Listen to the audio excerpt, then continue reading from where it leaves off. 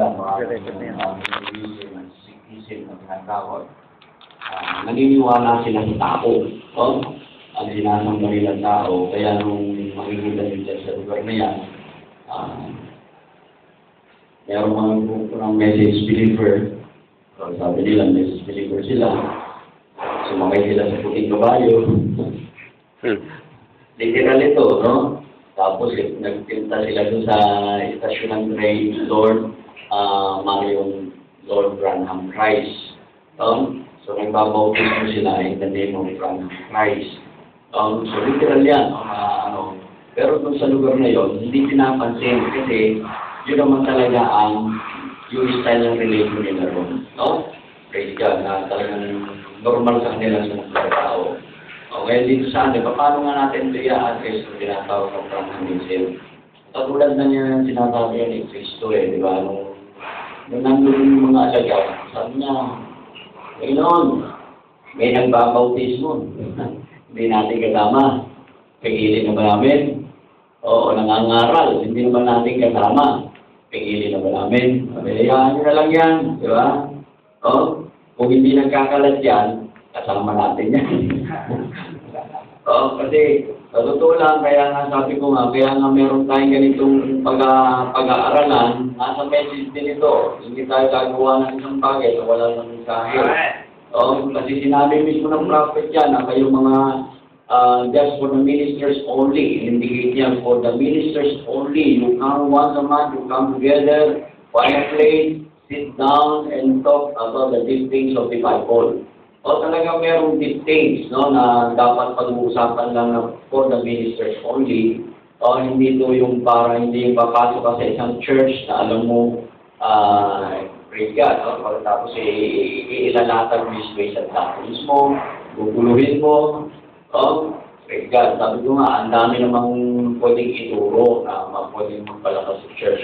O, Praise God. So makikita nga natin na umaabot nga yan. Pinakita na ni Brother Francis, may, may Francis na mayroong extreme Branhamism, oh, mayroong yung mga subtle. Oh, uh, sabi nga, paano ba natin ito yung Andre? Kaya well, very simple lang yan.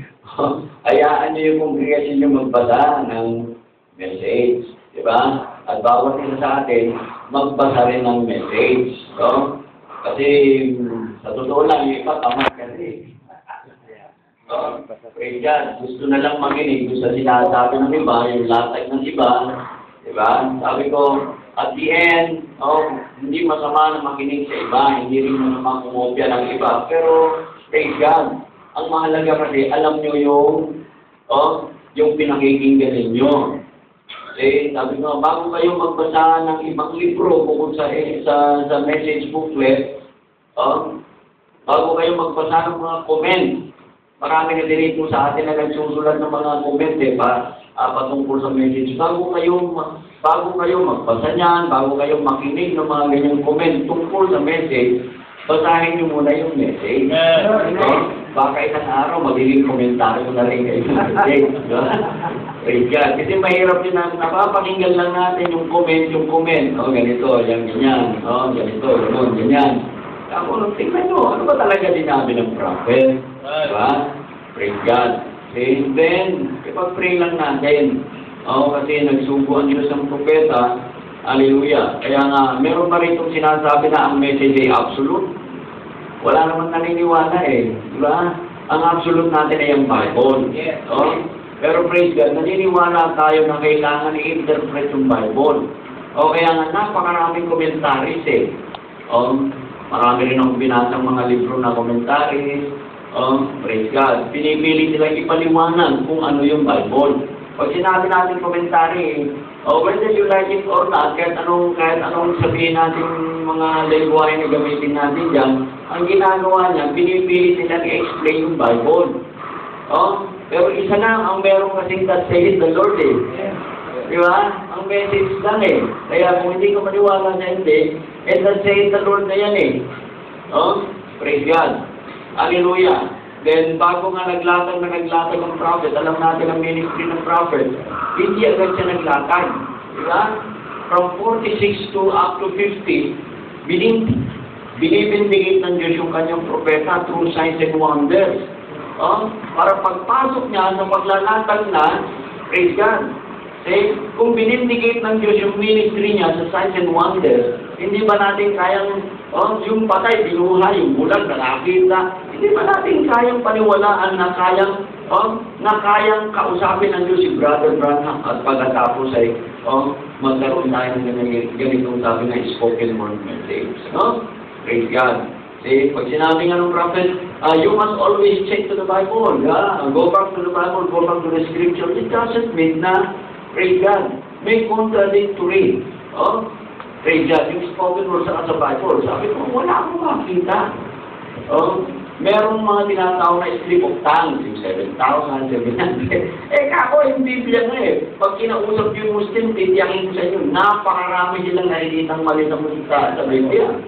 Ah, sa bubong acts lang eh, di ba? Sabi ni Paul, oh, may napakinggan ako, nadilaw ako. Tapos sa kabilang banner, yung sabi nga, yung mga tao may napakinggan. Sa kabilang, bubong acts din yun. Di ba? Pagdating sa ibang chapter, sabi nga, nakita ng mga, oh, nakita ng mga kasama niya, pero walang narinig. bubong acts yun.